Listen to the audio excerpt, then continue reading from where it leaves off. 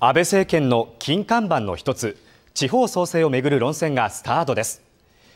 地域再生法改正案では地方の活性化に取り組む自治体に寄付をした企業の税金を軽くする企業版ふるさと納税や先進的な事業に取り組む自治体を支援する新型交付金の導入などが柱です。しかし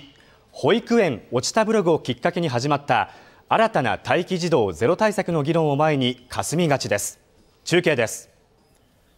石破大臣は国も支援するが地方の自立が何よりも大事だと強調しました。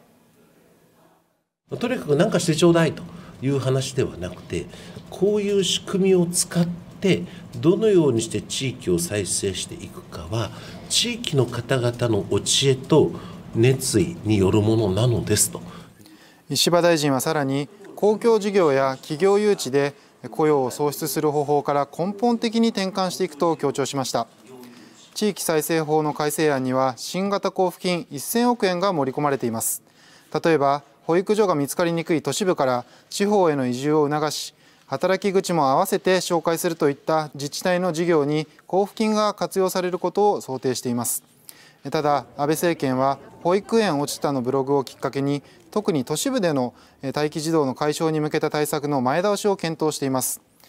待機児童の問題が深刻化していない地方とのバランスをどう取るかが問われています。